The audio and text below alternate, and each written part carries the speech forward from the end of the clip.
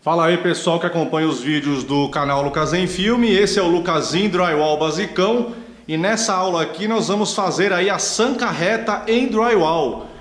Nós não estamos no estúdio escola porque lá não teria espaço suficiente para fazer esse projeto, então eu estou aqui numa obra real para fazer essa aula aí de sanca drywall. E para fazer a sanca, a gente começa riscando com o laser o local aí que a gente vai instalar aí as cantoneiras 2530. Eu vou fazer uma sanca reta aqui numa sala de jantar. Nós temos aqui 4 metros de comprimento e eu vou fazer a sanca aí no tamanho padrão, que é 15 centímetros de rebaixo e 40 centímetros de corpo.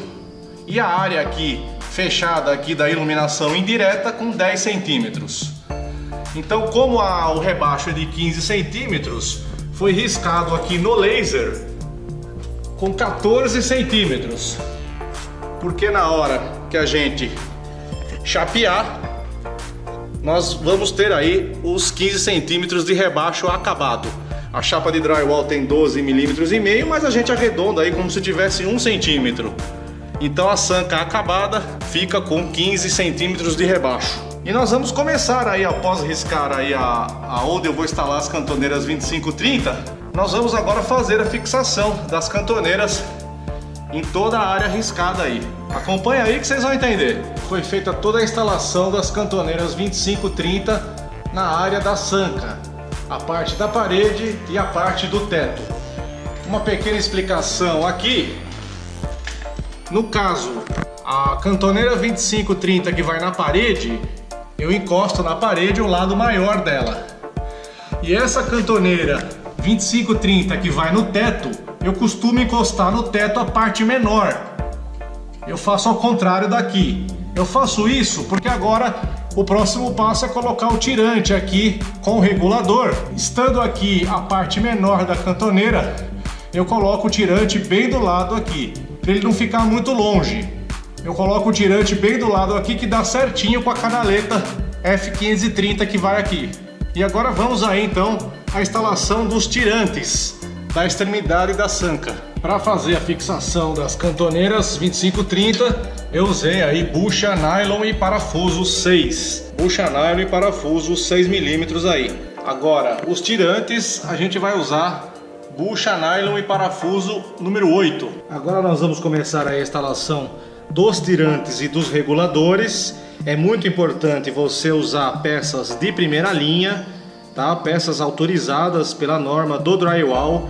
Essa peça aqui, a mola, ela tem que ser tratada. Existem peças paralelas aí, produtos paralelos que essa peça aqui enferruja e o seu forro, a sua sanca pode cair.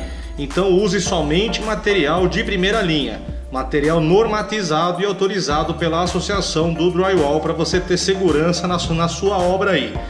E no caso dos tirantes e reguladores, nós vamos usar a bucha nylon e o parafuso número 8 e também a arruela. A arruela é para a gente ter certeza que o parafuso não vai escapar da ponta do tirante.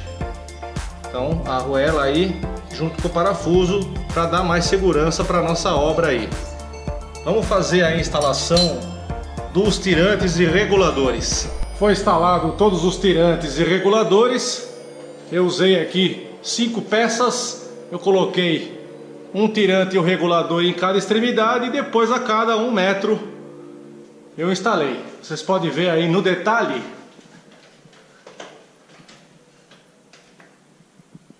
o tirante preso aqui com a bucha, o parafuso e a arruela.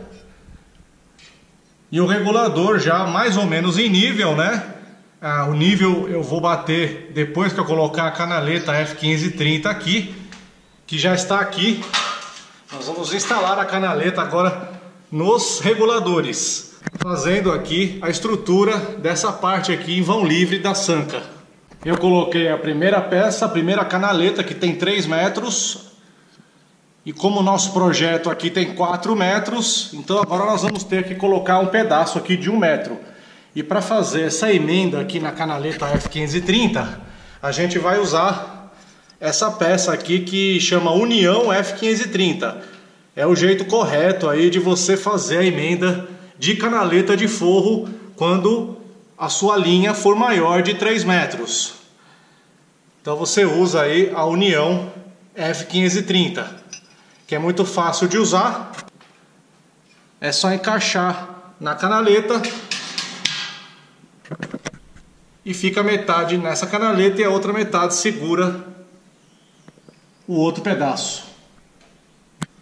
E dessa forma, com a união F1530, que está aqui, a gente emendou a barra de 3 metros nessa outra barra aqui para terminar a nossa sanca e fica perfeito aí a emenda.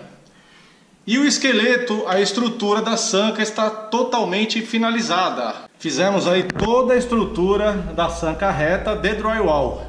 Ela está pronta para começar a ser chapeada. E a primeira parte aí que você vai chapear é essa frente aqui. A gente tem que fazer essa frente aqui primeiro, antes de tudo. E também, se você tiver aí o projeto de elétrica, essa é a hora para você passar aí conduítes, passar fiação. Com estrutura aberta, você faz todo o projeto elétrico aí de fiação da sua sanca, antes de começar o chapeamento. A gente tem que terminar de nivelar aí a nossa sanca. E para terminar de nivelar ela, você pode usar aí o nível de bolha, tá? Desde que o nível de bolha esteja correto, aí esteja aferido. Então, a gente vai colocar o nível de bolha encostado na cantoneira e em todos os tirantes aí. Você nivela, você faz essa operação.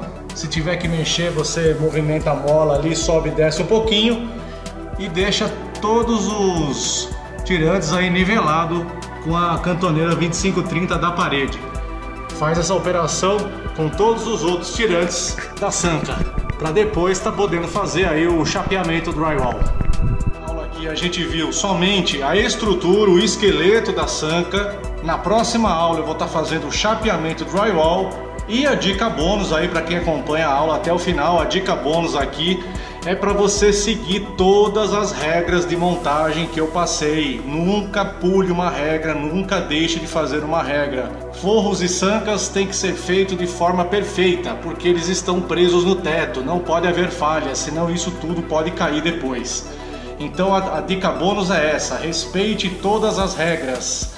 Faça do jeito certo para ter aí uma obra segura, uma obra com qualidade e uma obra bem feita, né? Então é isso aí, pessoal. Para quem chegou aí até o final da aula, coloca aí hashtag Sanca de Drywall. Na próxima aula nós vamos fazer o chapeamento dessa sanca. Deixa um like aí para ajudar o canal, para ajudar o projeto. E a todos aí um muito obrigado, forte abraço e fique com Deus.